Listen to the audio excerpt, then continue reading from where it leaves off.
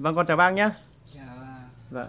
Hôm nay bác lên nhà thuốc chúng con để lấy thuốc cho bác gái mình đúng không ạ? vâng, tôi Vâng. lấy thuốc cho gái. Vâng bác gái bị làm sao hả bác? À, vợ tôi bị à, thoái hóa hết cuộc sống. Vâng thoái con sống. Thì hôm nay nhân tiện bác lên lấy thuốc cho bác gái.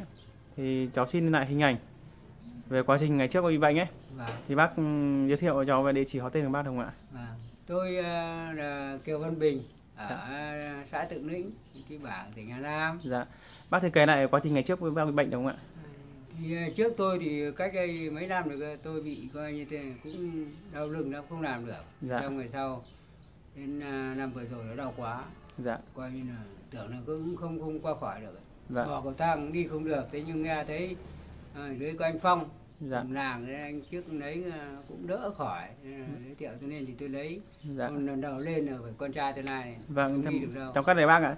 Bác thì kể lại quá trình bác bị bệnh bệnh và bác đi chụp chiếu ở đâu và một cái kết quả như nào ạ? à, thì tôi bắt đầu đau quá rồi bắt đầu mới à, cháu nó cho đi xuống bệnh viện hai phủ lý đấy chụp Dạ. ờ, thì nó kết quả là kết luận là bị thoát à, bị đi đệm hai đốt mới bị thoái hóa cơ cuộc sống Vâng. trong khi nó đau quá Sau rồi. khi bác ờ, đi chụp chiếu về thì bác đã được đi điều trị ở những đâu ạ?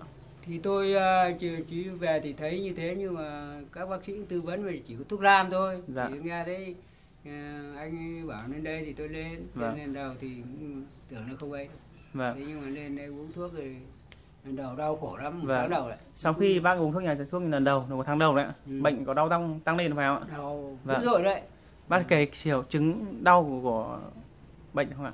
tôi giờ nó đau nó nhức hết xương sống mà không thể coi Vâng. như là tưởng tượng được nhức Dạ. không người bò được cái chứ Vâng. đi lên cầu thang không đi được Dạ. phải là ấy làm thì Thì sau khi bác uống thuốc nhà thuốc cho cháu bằng pháp như nào ạ? Thế tôi cứ ờ, uống thuốc ở thì cứ theo ờ, nhà thuốc hướng dẫn là cứ về đun sắc uống coi như cả ngày đấy cứ mỗi ấm là ba ngày tôi Vâng. uống thì xong rồi dần thì thấy thứ Cả có cả thuốc đắp không ạ? có gì đắp tháng đầu Vâng. Thì sau khi bác lấy thuốc nhà thuốc cho cháu được bao nhiêu ngày, bao nhiêu tháng thì bác đỡ bệnh và bác khỏi bệnh ạ? thì tôi uống là đến ờ, đến lúc tôi khỏi là đến nay là tôi uống hết 45 ấm Dạ. 45 một tháng. ấm là 80 nghìn đấy Vâng, bác à, bác đắp ờ, tháng đầu ờ, cả đắp cả uống đúng không ạ? Thì bác Vâng, à, dạ. điều trị bao nhiêu ngày thì bác giảm bệnh ạ? thì ờ, trong ờ, độ khoảng sang tháng thứ hai thì nó Dạ. giảm đi xong từ tháng 3 Vâng. Thế tháng thứ tư thì giờ giờ tôi còn nói chung là không đau được ờ, hai tháng rồi, ba Vâng, tháng rồi. Bác đi lại bình thường chị ạ? Bây giờ là đi lại bình thường rồi. Cái cả bác, giờ là tập thể dục được rồi. bác đi lao động bình thường ạ? Ờ, lao động bình thường rồi đấy. Dạ, tiền trừ ngày trước bác chưa điều trị nhà thuốc thì bác có đi làm việc mà đi thể dục được bình thường ạ? Không đi được, không làm được. Đau đớn nhiều đúng không ạ? Vâng. Thì sau khi bác điều trị nhà thuốc cho cháu được 4 tháng đúng không ạ? Thì bác khỏi được từ đó nay được bao nhiêu tháng chị ạ? Được ờ, khoảng hơn 3 tháng. Hơn ba nhưng tháng. cảm tưởng như là tôi làm được thì ác ở đấy nhưng Mà làm bình thường. quay lại. Vâng. Thì bác điều trị nhà thuốc cho được 4 tháng bác khỏi bệnh rồi. Thì bác muốn bệnh của bác mà ổn định và khỏi lâu dài thì bác làm việc hoạt động nhẹ nhàng bình thường nhé, hợp lý và bác có chế độ thể dục nhẹ nhàng.